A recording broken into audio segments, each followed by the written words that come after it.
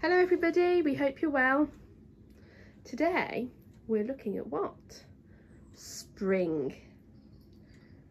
When does spring occur? In the months of March, April and May. Let's have a look at this. In springtime, there are so many different flowers that start to grow.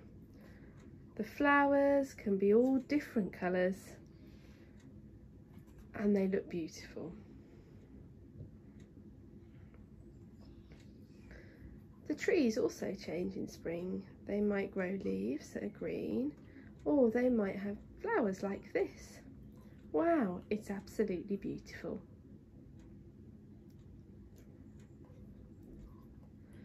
Spring also sees the start of new life.